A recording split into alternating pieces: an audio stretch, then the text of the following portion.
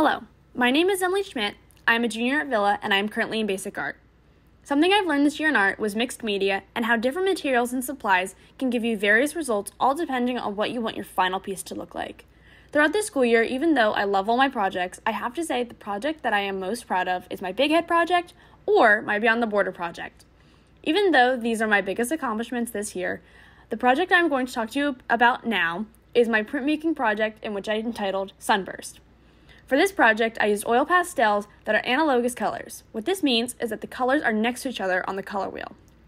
In addition to oil pastels, I also used a printmaking block that I made, ink, a brayer to transfer the ink to the block, and a baren to push my ink to the paper.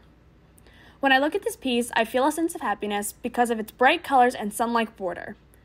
This is what I hope you all see as well. What I've learned in art this year will continue to inspire me in my future artworks because I have learned how to show my creativity and make it visual. Thank you for listening, and please enjoy the Villa Art Show.